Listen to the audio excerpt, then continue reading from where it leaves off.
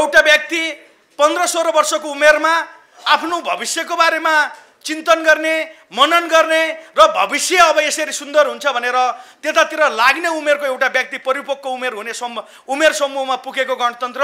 अहिले गणतन्त्र पन्ध्र सोह्र वर्ष नहुँदै गणतन्त्रभित्रका विभिन्न पाठमा बहस गरिने गणतन्त्रभित्रकै विभिन्न गणतन्त्र ल्याएको अधिकारको बारेमा संवाद गरिने गणतन्त्र सँगसँगै आएका व्यक्तिगत स्वतन्त्र र राजनीतिक परिवर्तनका कुराहरूमा क्वेसन्स गरिने परिस्थिति अहिले निर्माण भएको गणतन्त्रमाथि अझ बढ्ताले भन्ने गरिन्छ गणतन्त्रमाथि खतरा भयो गणतन्त्र अस्थिरता भयो गणतन्त्र खतरामा छ भनेर जो गणतन्त्र ल्याउनको निमित्त धेरै लाग्नुभयो पहिलो पुस्ताका आदरणीय नेपाली राजनीतिमा लागिरहेका नेतृत्वकर्ता नेताहरूले गणतन्त्रमाथि नै खतरा भयो भनेर बढ्ता बहस भएको हामीले सुन्ने र देख्ने गरेका छौँ। हो आजको बहस हामी त्यतैतिर जान खोजिरहेका छौँ गणतन्त्र खतरा कहाँबाट भयो त? गणतन्त्र ल्याउँदाखेरि लडेका व्यक्तिहरू सँगसँगै नेपाली समाजमा पनि म उदाहरण यो कारणले भन्न सक्छु भनेर आउने समाजको लागि पनि अरूले इक्जाम्पल दिन लायकको व्यक्ति बन्नको निमित्त प्रयास गर्ने र त्यो समय सोच्न सक्ने उमेर पन्ध्र सोह्र वर्ष कटेसी हो जस्तो लाग्छ। पैँसठी सालबाट औँला भाँच्दै गन्ने हो भने अग्रजहरूले लडेर हाम्रो पुस्ताहरूले पनि सँगसँगै पछाडिबाट लागेर लागेको गणतन्त्र आज पन्ध्र सोह्र वर्ष टेकिसकेको छ भइसकेको छ। एउटा व्यक्ति पन्ध्र सोह्र वर्षको उमेरमा आफ्नो भविष्यको बारेमा चिन्तन गर्ने मनन गर्ने र भविष्य अब यसरी सुन्दर हुन्छ भनेर त्यतातिर लाग्ने उमेरको एउटा व्यक्ति परिपक्व उमेर हुने सम्म उमेर समूहमा पुगेको गणतन्त्र अहिले गणतन्त्र पन्ध्र सोह्र वर्ष नहुँदै गणतन्त्रभित्रका विभिन्न पाठमा बहस गरिने गणतन्त्रभित्रकै विभिन्न गणतन्त्र ल्याएको अधिकारको बारेमा संवाद गरिने गणतन्त्र सँगसँगै आएका व्यक्तिगत स्वतन्त्र र राजनीतिक परिवर्तनका कुराहरूमा क्वेसन्स गरिने परिस्थिति अहिले निर्माण भएको छ। गणतन्त्रमाथि अझ बढ्ताले भन्ने गरिन्छ गणतन्त्रमाथि खतरा भयो गणतन्त्र अस्थिरता भयो गणतन्त्र खतरामा छ भनेर जो गणतन्त्र ल्याउनको निमित्त धेरै लाग्नुभयो पहिलो पुस्ताका आदरणीय नेपाली राजनीतिमा लागिरहेका नेतृत्वकर्ता नेताहरूले गणतन्त्रमाथि नै खतरा भयो भनेर बढ्ता बहस भएको हामीले सुन्ने र देख्ने गरेका छौँ। हो आजको बहस हामी त्यतैतिर जान खोजिरहेका छौँ गणतन्त्र खतरा कहाँबाट भयो त? गणतन्त्र ल्याउँदाखेरि लडेका व्यक्तिहरू जो आदरणीय मान्यज्यूहरूले नेतृत्व गरेको युद्धहरूमा सडकदेखि अहिले सदनसम्मको जसरी विभिन्न स्वरूपका आन्दोलनहरू परिवर्तित स्वरूपमा छन् त्यो सडक आन्दोलन र माओवादीले बाह्र वर्षसम्म चलाएको आन्दोलनको बेलामा पहिलो मोर्चामा आदरणीय मान्यज्यूहरू र अगुवा नेताहरूले नेतृत्व गर्दै गर्दा सँगै रहेको आफ्नो सहयात्री कहाँ छ र उसले यो गणतन्त्रबाट के पायो र के गुमायो भनेर के बहस गर्न तयार छ भनेर त्यतातिर हाम्रो नेतृत्वकर्ताहरूको नजर त्यतातिर दृष्टि नपुगेको हो कि जस्तो आज ठम्माइ छ। सँगसँगै आज गणतन्त्र खतरामा परियो भनेर बहस गर्दै गर्दा एउटा खेती किसान गरिरहेको जो नागरिकले गणतन्त्र प्राप्ति सँगसँगै आफ्नो भविष्य उज्जवल देखेको हो उसले गणतन्त्र खतरामा देखिरहेको छैन। जसले सामान्य किराना पसल र व्यवसाय गरेर बसेको छ उसले गणतन्त्र खतरामा देखेको छैन। जसले स्कुल स्कुलमा शिक्षाको शिक्षाको मार्फतबाट राजनीतिक क्रान्ति पढायो र राजनीतिक परिवर्तनको निमित्त सिकायो उसले गणतन्त्र खतरामा देख्नुभन्दा पहिला जसले गणतन्त्र नेपालको नेतृत्व गर्नुभएको छ नेतृत्व गर्ने मध्ये पनि प्रमुख प्रधानमन्त्री भइसकेका र दलका नेताहरू यताकता सम्बोधन गर्दै गर्दा गणतन्त्र खतरामा पुग्यो भनेर सम्बोधन गर्नुहुन्छ। र मेरो पुस्ताले यो स्टेजमा बसेर अघिल्लो पुस्तालाई साक्षी राखेर भन्नै पर्ने छ जस्तो लाग्छ। अहिले गणतन्त्र खतरामा भन्ने स्वर तपाईँको स्वर आउनुको बाध्यात्मक स्थिति अन्त कहीँबाट होइन। जुन नागरिकले जिम्मा दिएर दलका प्रमुख नेताहरू बनाएर राजाको ठाउँमा प्रधानमन्त्री र राष्ट्रपति बनाएर तपाईँहरूलाई त्यो ठाउँमा पुर्याउनु भयो तपाईँहरूले गरेको कर्म तपाईँहरूले जनतालाई केन्द्रमा राखेर गर्न नसकेको अथवा बुझाउन नसकेको परिस्थितिले गर्दा आज गणतन्त्र खतरामा गयो भनेर तपाईँहरूले बहस गर्ने र नागरिकहरू पनि हो कि क्या हो भनेर कन्फ्युजनमा तपाईँहरूकै नेतृत्वले गर्दाखेरि तपाईँहरूले बोलेको कुरा कन्फ्युजनमा पुग्ने परिस्थिति निर्माण भएको छ। आदरणीय मान्यज्यूलाई मान्यज्यूहरूलाई मैले यतातिर ध्यान आकर्षण गर्न खोजेको विषय मात्र यो हो कि गणतन्त्र खतरा कहाँबाट भयो भने जसले गणतन्त्रको जिम्मा लिनुभएको छ। तपाईँहरूले नै नागरिकमुखी कर्म धेरै गर्ने अथवा जन जनचाहना अनुसारको कर्म धेरै हुन नसकेको कारणले गणतन्त्र खतरा भयो भनेर तपाईँहरूले बोलेको कुरामा जनताले पनि हो कि क्या हो भनेर बुझ्न पर्ने परिस्थिति निर्माण हुन लागेको परिस्थिति सिर्जना भएको छ। आजको विषय परिवेशमा मैले यो कुरा विशेष रूपले यहाँ जोड्न खोजेँ। सँगसँगै अहिले न त व्यवस्थामाथि विद्रोह छ। कुनै सशस्त्र आन्दोलन पनि चलेको छैन। कुनै गणतन्त्रको माथि क्वेसन रेज गर्ने खाले फरक मत पनि छ रहेको छैन। अझ रोचक पक्ष जसले गणतन्त्र स्वीकार गर्नुभएको छैन गणतन्त्र स्वीकार नगरेका दलहरू जसले संवैधानिक राजतन्त्र अथवा राजतन्त्र चाहिँ हाम्रो स्वरूप हो भनेका दलहरू पनि सत्ता समीकरण र राजनीतिक गतिविधिमा गणतन्त्रको हिम्याती भनेर मान्नेका हाम्रा दलहरू सँगसँगै हातेमालो हातेमालो मिलाएर हिँडिरहनु भएको छ। भनेपछि गणतन्त्रको खतरा त न त कुनै विद्रोह छैन न त कुनै आन्दोलन छैन न त कुनै दल छैन गणतन्त्रको समस्या कहीँबाट छ भने त्यो भनेको तपाईँ हामी जसले विश्वास गरेर जिम्मा दिएका प्रधानमन्त्री पूर्व प्रधानमन्त्री र दलका प्रमुख नेतृत्वकर्ताहरू जसले नेतृत्व गर्दै गर्दा जनताको जनचाहना अनुसारको कार्य सम्पादन गर्न नसकेको कारणले आज गणतन्त्रको बारेमा पक्ष र विपक्षमा बहस स्वयं आफूले जिम्मा लिएको घरमूल्यबाट शुभारम्भ भएको छ। यसलाई राम्रो पक्षमा नलिकन यसलाई चाहिँ समादरणीय नेतृत्वकर्ताहरूले अब जसरी हिजोको क्रान्तिमा जनता जनचाहना अनुसार कर्म गरियो त्यसै गरी जनचाहना अनुसार आजको कर्म पनि जनताको चाहना अनुसारको कार्य सम्पादनतिर लाग्नुपर्छ जस्तो मलाई लागेको छ। विषय परिवेशमा यो कुरालाई विशेष महत्त्वको साथमा राख्दै आज अघिल्लो पुस्ताले गरेको मेहनत र हाम्रो पुस्ताले गरेको सँगसँगैको सहकार्य सँगसँगै अब पछिल्लो पुस्ताले पनि नेपालमै बसेर आफ्नो भविष्य आफ्नो दैनिकी र मेरो जिन्दगी यहीँ नै सुरक्षित छ भनेर यो गणतन्त्रभित्र आफूलाई मजबुत र यो गणतन्त्रभित्र आफूलाई सुरक्षित देखिने र भोगिने र आवास हुने परिस्थितिको निर्माण गर्नको निमित्त अहिले रहेका क्रियाशील राजनीतिक दल र दलका नेतृत्वहरूले तदनुसारको कर्म गर्न पर्ने परिस्थिति निर्माण भएको छ। अहिले ट्याक्कै देखिएको छ। पुरानो पुस्ताको अनुभव र नयाँ पुस्ताको जोस सँगसँगै अहिले यदा कदा कर्म गर्दै गर्दाखेरि हामीले हातमा किताब गणतन्त्रको बोक्ने दिमागमा कलर चाहिँ राजतन्त्र होला बोक्न थाल्यौँ भने गणतन्त्र त्यहीँ भित्रबाट समस्या सुरुवात हुन्छ। हामीले हातमा किताब मात्र होइन मस्तिष्कको कलर पनि गणतन्त्रभित्र नै हाम्रो भविष्य सुरक्षित छ भन्नेतिर हामी लाग्नुपर्छ जस्तो लागेको छ। निर्वाचन निर्वाचनबाट हामीले नेतृत्व चयन गर्ने गरेका छौँ। मैले विशेष आज यो कार्यक्रममा यो विषय पनि प्रवेश गराउन खोजेँ। पहिला राजाले राजाको नेतृत्व अर्को आफ्नो परिवारको अर्को सन्ततिलाई दिन्थे भने अहिले नेतृत्व परिवर्तन निर्वाचनबाट हुन्छ। एउटा प एउटा प्रधानमन्त्रीबाट अर्को प्रधानमन्त्री चयन निर्वाचनबाट हुन्छ। दलबाटको नेतृत्व पनि चयन निर्वाचनबाट हुन्छ। निर्वाचनबाट चयन हुने जनताले निर्वाचित गरेका जनप्रतिनिधिहरू जसरी स्थानीय तहबाट केन्द्रीय प्रधानमन्त्री सङ्घीय प्रधानमन्त्रीसम्म जाँदै गर्दा घर घरको टोल टोलमा रहेका स्थानीय सरकारदेखि प्रमुख र उपप्रमुखसम्म बन्दै गर्दाखेरि त्यो जनताले छानेका निर्वाचित जनप्रतिनिधि प्रतिनिधिहरू जनताको नेतृत्व गर्ने मेयर र उपमेयर को चियरमा बसेको त्यो प्रतिनिधि ओडादेखि स्थानीय तहका प्रतिनिधिलाई जनताले खोज्दै गर्दाखेरि त्यो अनुहार र त्यो कुर्ची बाटो कुर्चीमा आफूलाई पाउनुपर्छ। सिंहदरबारमा रहेको प्रधानमन्त्रीको चियरभित्र जनताले आफूलाई देख्न सक्नुपर्छ।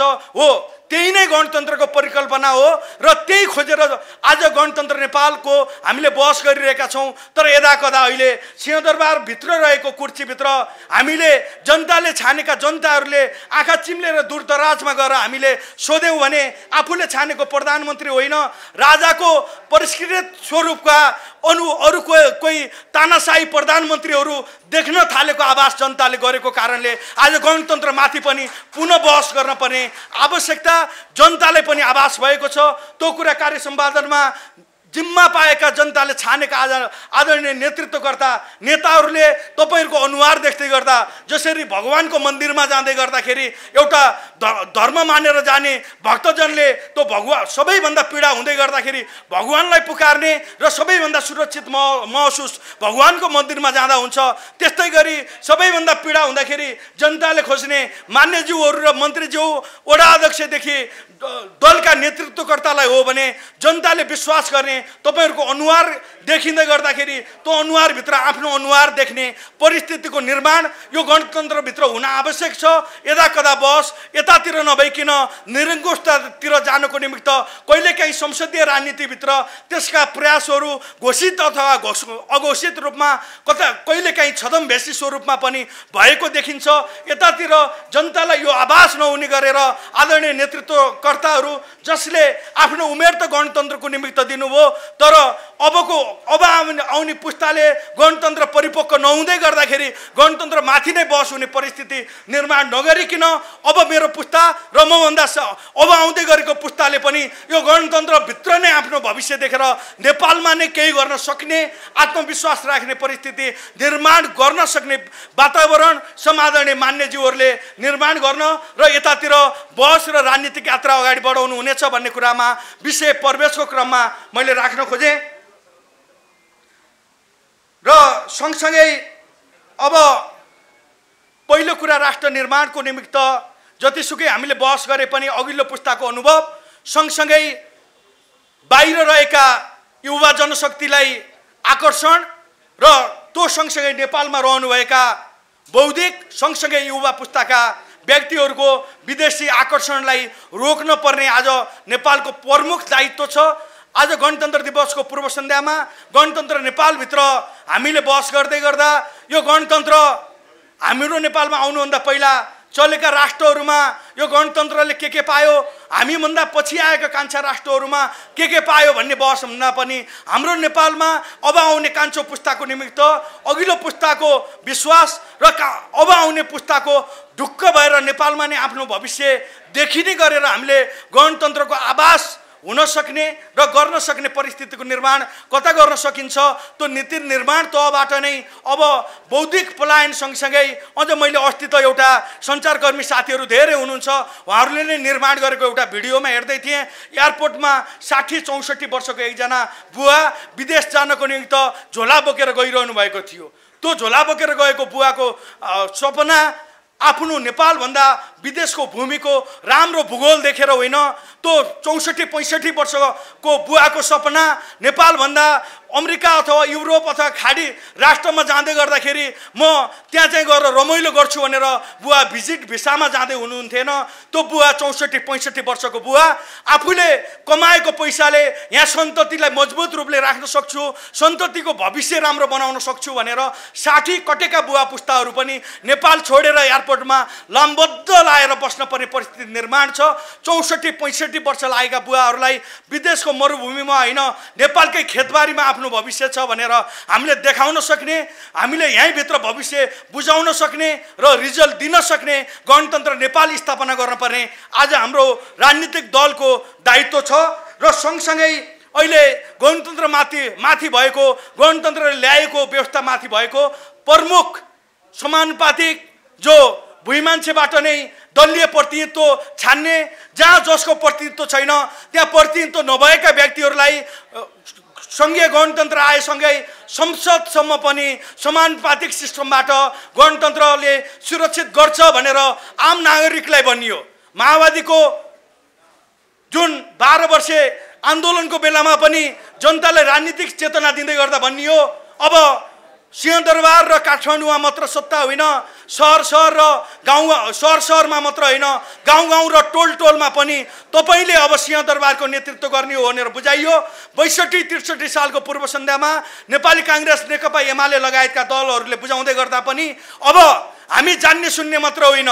जो बोलीविहीनहरूको आवाजविहीनहरूको आवाज हो त्यो आवाजविहीनहरूको आवाज पनि सिंहदरबारमा मात्र होइन संसदमा गएर आवाज सुनिनेछ। जो साथी आज आरन थापेर भाँडा बनाउँदै हुनुहुन्छ उहाँको पीडा पनि संसदमा उपस्थित हुनेछ।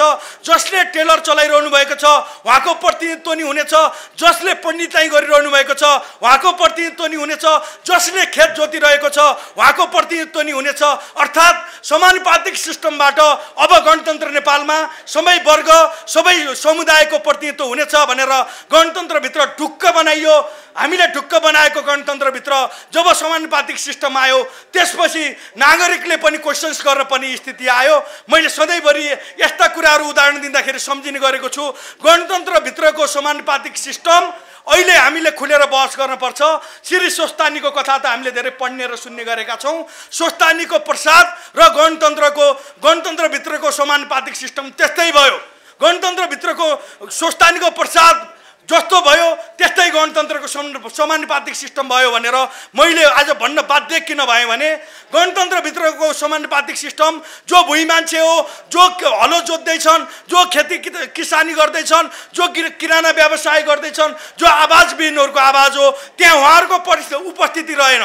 समानुपातिकभित्र सकेसम्म चुनाव नजितेका चुनाव जित्नलाई तयार नहुने चुनाव हार्छु भन्नेका आदरणीय नेताहरू सुरुमा गएर बस्ने त्यति नभइसके पछाडि आफू भइएन भने आफ्नो श्रीमतीलाई राख्ने श्रीमती तगडा छैनन् भने आफ्नो छोरालाई राख्ने छोरा नि छैनन् भने आफ्नो पक्का कार्यकर्तालाई राख्ने कार्यकर्ता नि छैनन् भने गुटको अर्को स्वरूपलाई राख्ने भएन भने मित छोरालाई खोजेको जस्तो श्री स्वस्तानीमा प्रसाद भए श्रीमानलाई देऊ नत्र छोरालाई देऊ छोरा नभए मित छोरालाई देऊ मित छोरा नि नभए छिमेकीलाई देऊ छिमेकी भएन भने खोलामा बगाइदेऊ भनेको जस्तो आम नागरिक जो खेत जो खेतको खेतमा खनिरहेका छन् जो खेत जोडी जोतिरहेका छन् जो किराना पसल चलाइरहेका छन् जो आवाजविहीनहरूको आवाज हुन् ती आवाजविहीनहरूको आवाज कुन बेलामा पालो आउने भयो भने त्यो बेला चाहिँ कुन बेला श्री स्वस्तानीको प्रसाद खोलामा बगाउने बेलामा जस्तै कुनै विकल्प नभएको बेलामा मात्र समानुपातिक सिस्टम राजनीतिक दलहरूले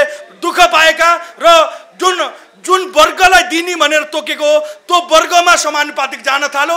त्यस कारणले आम नागरिकले गणतन्त्र मार्फत आएको सबभन्दा सुन्दर पक्ष यो समानुपातिक सिस्टममाथि नै आज नागरिकले बहस गर्दैछन्। अर्को गणतन्त्र सँगसँगै आएको अर्को सुन्दर पक्ष संहिता। संहिता प्रदेशिक स्वरूपमा संहिता गइसके पछाडिको अहिले प्रदेश ढाल्नलाई कुनै राजतन्त्रवादीहरू लागेका छैनन्। प्रदेशभित्र अस्थिरता निम्ताउनुको निमित्त कुनै राजावादीहरू लागेका छैनन्। प्रदेशका स्वरूपमा रहेका साथै प्रदेशभित्र नाङ्गो नाच देखिरहेको छ। नाङ्गो नाच केमा छ भने आफैले निर्माण गरेको प्रदेश सरकार बनाउने र डाल्ने डाल्ने र बनाउने। अनि त्यहाँभित्र हामीले परिकल्पना गरेको समानुपातिक हामीले परिकल्पना गरेको संहिता कहाँनिर गएर पुष्टि हुन्छ जहाँ सङ्घ गणतन्त्र नेपालको सबभन्दा सुन्दर पक्ष संहिताभित्र सबैभन्दा अस्थिरता देखिरहेको छ। अस्थिरता कसले देखाएको छ भने जसले प्रदेशको प्रति प्रतिनिधित्व गरेर प्रदेश सरकारभित्र रहनुभएका गणतन्त्रवादी नेताहरू त्यहीँभित्र आफूलाई केन्द्रमा राखेर काम गर्दै हुनुहुन्छ। त्यहाँभित्र जनता र जनता सँगसँगै गणतन्त्रले केन्द्र पाएको छैन। त्यहाँबाट राजनीतिक दल र दलका नेतृत्वहरू माथि उठ्नुपर्ने आजको आवश्यकता छ। आज गणतन्त्रको भरोसा जोगाउनको निमित्त देशप्रति आशा राखेका देशप्रति भरोसा राखेका आम नागरिकलाई देशभित्रै सुरक्षित छौँ भन्ने कुराले ढुक्कले यहीँ केही काम गर्न सक्ने परिस्थिति निर्माण गर्नुपर्ने छ। राज्य जनताप्रति राज्य जवाबदेही भएर यो सरकार जनताको हो भन्ने कुरा राज्यले पूर्ण रूपले ढाडस दिनपर्ने परिस्थिति आज निर्माण भएको छ। यसै बिचमा आज कार्यक्रमका प्रमुख वक्ता समादरणीय संविधान मसौदा समितिका संयोजक एवं गणतन्त्र नेपालका एक साक्षी आदरणीय मान्य कृष्ण प्रसाद सिटौला पाल्नु भएको छ। उहाँलाई स्वागत गर्दै मैले आज विषय टुङ्गाउँदै गर्दाखेरि विषय प्रवेशमा गणतन्त्र नेपालभित्र सङ्घीयता जनताको निमित्त आएको आवाज हुन आवश्यक छ। समानुपातिक भुइँ मान्छेको निमित्त भएको व्यवस्था हो भन्ने कुरा आम नागरिकले बुझ्ने गरेर कार्यान्वयन हुन आवश्यक छ। त्यति मात्र होइन आम नागरिकहरूले गणतन्त्र नेपालभित्र आफू र आफ्नो पछिल्लो पुस्ता पनि यहीँ सुरक्षित छ भन्ने कुरा देखाउन र बुझाउन आवश्यक छ। अबको यात्रा क्षमतावान जनशक्तिले नेपालमै भविष्य देख्न पर्ने नेतृत्वहरूले यो नेतृत्व आम नागरिकको भनेर भरोसा जोगाउन पर्ने। देशप्रतिको आशा कान्छो पुस्तासम्म पनि पुर्याउन पर्ने र राज्यले जनताप्रतिको जवाफदेहिता राखेर कर्म गर्यो भने धेरै कुरा यहीबाट नै पुरा हुन्छ जस्तो मलाई लाग्छ। हामीले हाम्रो पुस्ताले विश्वास गरेका धेरै अग्रज नेताहरू जसले हाम्रो पुस्ताको निमित्त लडिदिएर आज गणतन्त्र नेपालको वयस्क उमेरको बहसमा यहाँ जोड्दै गर्दाखेरि अब हामीले अब तपाईँहरूको पुस्ताले त गणतन्त्र नेपाल हाम्रो पुस्तासम्मलाई ल्याइदिएर मलजल गर्ने परिस्थिति निर्माण गरिदिनु भयो अब हाम्रो पुस्ता र हामीभन्दा कान्छो पुस्ताले पनि यो गणतन्त्र नेपालभित्र आफ्नो भविष्य नदेखेर गणतन्त्र नेपालभित्र नै फरक बहस गर्न पर्ने परिस्थिति निर्माण भयो भने यसले राम्रो सन्देश दिने होला छैन। यतातिर प्रमुख वक्ताहरूले ध्यान दिनु नै हुनेछ भन्ने कुरा राख्दै म पाल्नुहुने सम आदरणीय मान्य कृष्ण दाई आदरणीय देवेन दाई आदरणीय कृष्ण सबोज मान्या जो आज सदनको नेतृत्वकर्ता नि यहीँ हुनुहुन्छ र नेपाली काङ्ग्रेसले घोषणा गरेको आन्दोलनको नेतृत्वकर्ता पनि आज स्टेजमै हुनुहुन्छ। सम्पूर्ण मोर्चाको आदरणीय आदरणीय नेतृत्वकर्ता नेताहरू यहीँ हुनुहुन्छ र गणतन्त्रको बारेमा बहस गर्दै गर्दा जुन बेलामा राजा नारायण हिट्टीमा बस्दै थिए जुन बेलामा राजा नारायण हिट्टीमा राखेर राज्य चलाउँदै गर्दाखेरि नारायण राजालाई नागार्जुनको डाँडासम्म पुर्याउनुको निमित्त सम्वाद गरेर नेतृत्व गर्ने समादरणीय किसन दाई आज यहाँ हुनुहुन्छ। त्यति मात्र नभइकन राजतन्त्र होला पाठ सिद्धा र गणतन्त्र नेपालको संविधान निर्माण गर्ने मस्यौदाको संयोजक पनि हुनुहुन्छ। आज गणतन्त्र नेपालभित्रको परिस्थितिको बारेमा पक्कै पनि आज दाईले महत्त्वपूर्ण कुराहरू राख्नु हुनेछ। मैले दाई आउनुभन्दा पहिला दुईवटा कुरा राखेको कुरा पुनः पनि दाईलाई दुई हरफमा पुनश्च दाई दाईलाई नै सुनाउँदै म आवाजको दायराबाट बिदा हुन्छु। गणतन्त्र नेपालबाट पाएको सुन्दर पक्षका दुईवटा पाटो एउटा समानुपातिक प्राणी अर्को सङ्घीयताको स्वरूप। सङ्घीयताभित्र दाई सङ्घीयताभित्र सबैभन्दा व्रत पाएको प्रदेश सरकारभित्र अङ्कगणितमा मात्र केन्द्रित भयो। आम नागरिकले सङ्घीयताभित्र त्यो सङ्घीयता आफूलाई आएको भन्ने आवास प्राप्त भएको छैन। अर्को समानुपातिक सिस्टम दाई समानुपातिकको सिस्टम मैले अहिले पूर्ववक्ता पहिल्यै रहनुभएका मान्यज्यूहरूलाई त अनुरोधै गरिसकेँ। किसिन दाईलाई साक्षी राखेर अनुरोध गर्छु। समानुपातिक तपाईँले संविधानको मस्यौदा लेख्दै गर्दा त्यो मस्यौदाभित्र रहेको समानुपातिक जसले बोल्न सक्दैनन् जसले आफ्नो आवाज संसदमा